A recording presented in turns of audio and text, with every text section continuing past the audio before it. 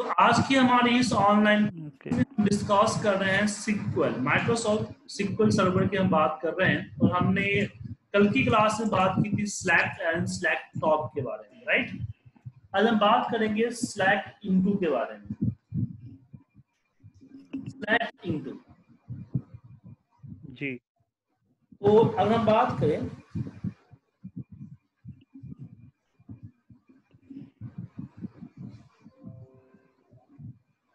इसका यूज़ होता है कि सिलेक्ट सिलेक्ट इनटू जो होता है, वो होता है कि use the create the table from an existing table by copying the table columns मतलब एक टेबल से दूसरे टेबल में डेटा कॉपी करने के लिए इनटू का इस्तेमाल किया जाता है। जैसे कि हम यहाँ पे सिलेक्ट इनटू मैं एक काम करता हूँ, मैं यहाँ एक और जी। यहाँ पे और मान लीजिए मैंने यहाँ पे दे दिया।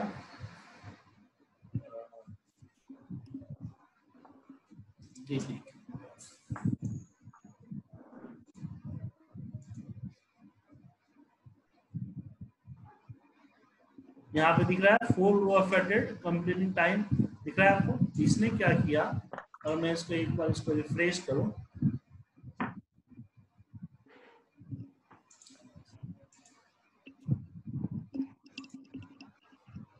क्या सर जी। अगर मैं आ, इसको करूँ मैं यहाँ पे फ़ोटो हटा देता हूँ। फ्रॉम पीपी तो आप देखेंगे। तो सॉरी मैं स्पेलिंग फ्रॉम डीटी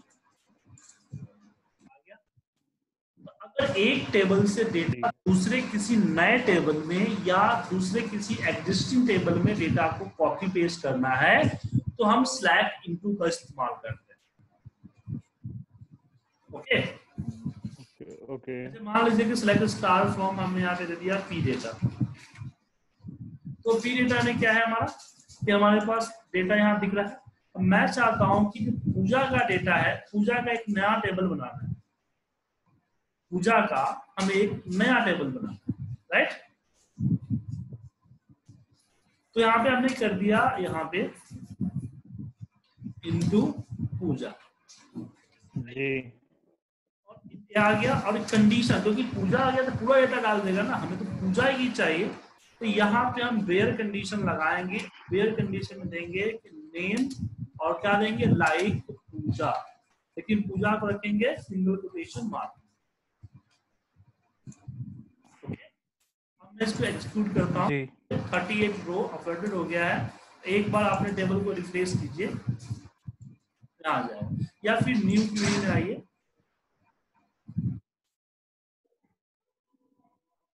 या न्यू क्वेरी में।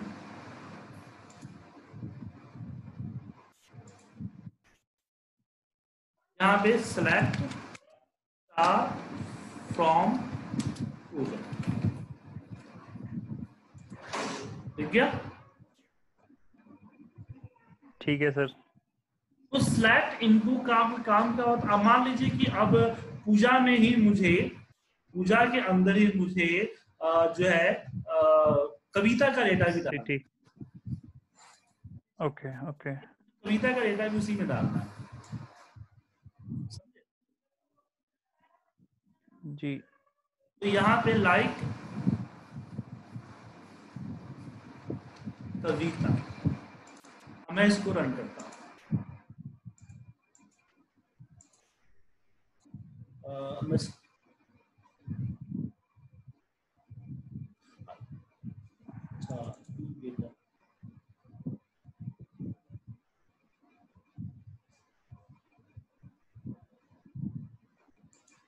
अच्छा ये हमेशा नया टेबल ही बनाता है क्या?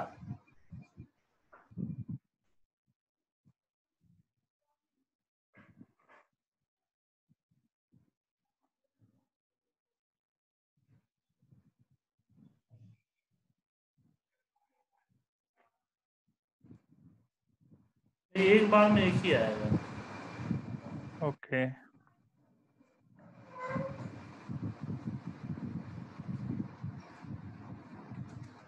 इसमें एग्जिस्टिंग टेबल नहीं कर रहा है नया टेबल भी नहीं कर। इसका हाँ नया टेबल नहीं है। सेलेक्ट एक्सप्लेन माने कि select expressions into new tables from the tables where condition ठीक है? तो सेलेक्ट इनटू क्या करता है? नया टेबल के अंदर डेटा को रख देता है। मतलब कि आपने टेबल को नया के रूप में नए में आप डाल सकते हैं। ठीक है? ठीक है। क्लियर है कोई डाउट इसमें? नहीं सर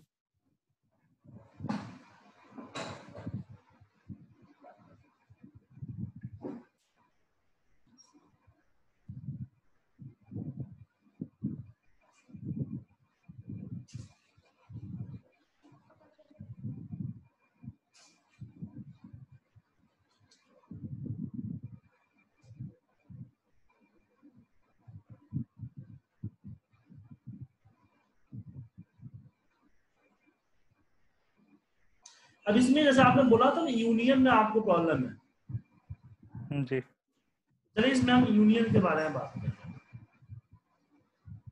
तो मेरे पास जो है यहाँ पे मैंने इस कोड को चेंज कर यहाँ पे दिया फ्रॉम मान लीजिए हमने दे दिया डेटा जी। और फिर हमने यहाँ पे दिया यूनियन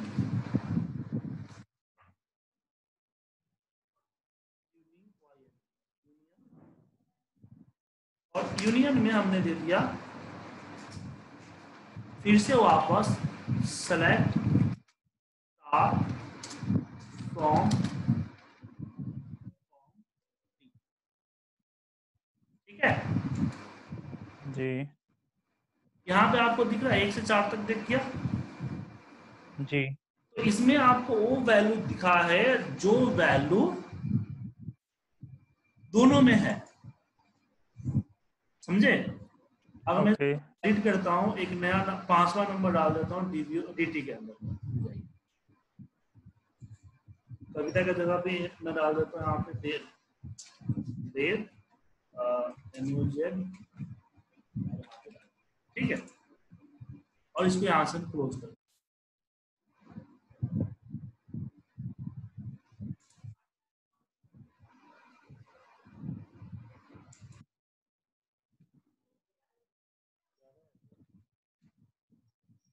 पाँच सौ से ऊपर वेरिएशन लगा हुआ है। ठीक है? अब इसको डीटी की हम्म। दिख गया पाँच तक कौन कौन सा डेटा दिखा रहा है सर एक जीटी का दिखा रहा है और?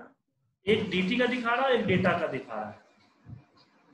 अच्छा डेटा करेंगे आप ओपन एक बार?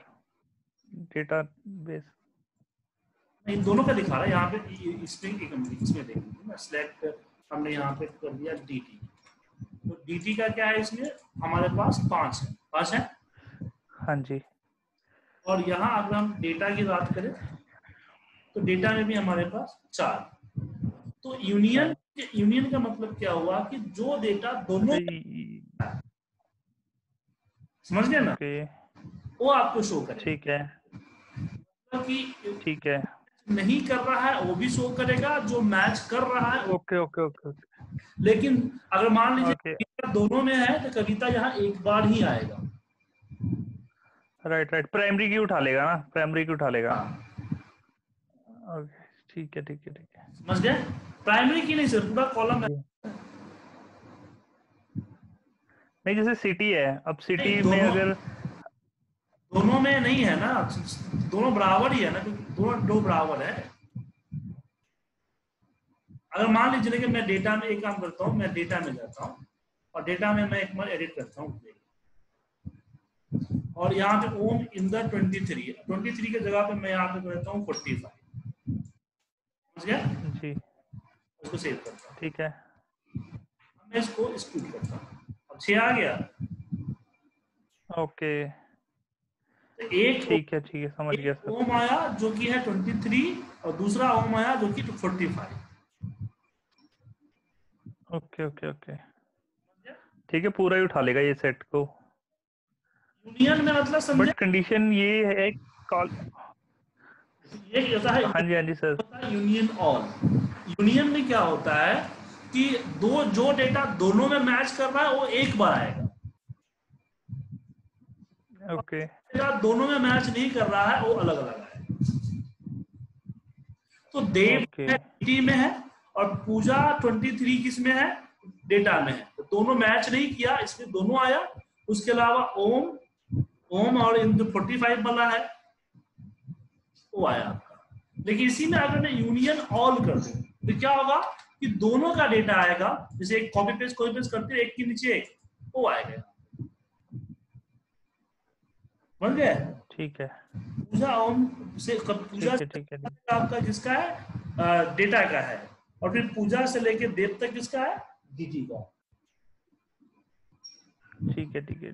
टेबल दो सेम टेबल को यूनियन करने के लिए हम यूनियन ऑपरेटर लेते हैं। Union and union all. दो या दो से अधिक। ज़रूरी कि दो ही हो दो से अधिक भी कर सकते हैं। ओके। okay. समझ गए? ठीक है सर। फिर आ गया इसमें समझ में कोई दिक्कत तो नहीं ना आपको इसमें? नहीं नहीं नहीं। एक आता आपका इंटरसेक्ट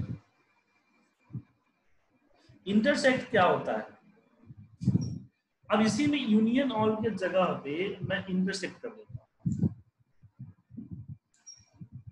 ये आपने पढ़ा होगा इसमें टेंथ में। हाँ डिलीट का है कुछ। नहीं डिलीट नहीं। इंटरसेक्ट हमने इंटरसेक्ट कर दिया। ओके था। तो इसमें वही डेटा आएगा जो दोनों में मैच हो रहा है। अच्छा जी। तो तीन चीज़ें हैं। एक है यूनियन यूनियन ऑल और इंटरसेक्ट यूनियन दोनों का डेटा मैच एंड मैच दोनों डेटा दिखाएगा। मैच को रिपीट नहीं करेगा। मान लीजिए कि अगर कविता दोनों में है तो एक ही कविता दिखाएगा। यूनियन ऑल में कविता अगर दोनों में है तो दोनों कविता दिखाएगा। और इंटरसेक्ट में क्या है? ठीक है। कि कविता जो मैच करेगा जो दोनों में होगा वही दिखाएगा। या तीन में या चार में होगा वो दिखाएगा। समझ गए? ठीक है। डाउट इसमें? जी। नहीं नहीं सर चलिए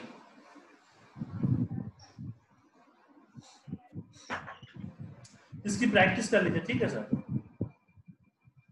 ठीक है सर। फिर हम कल मिलते हैं कल तो नहीं मंडे मिलते हैं ठीक है? Okay okay sir okay. ठीक है सर ठीक रेस्ट ये लिंक भेज देना सर।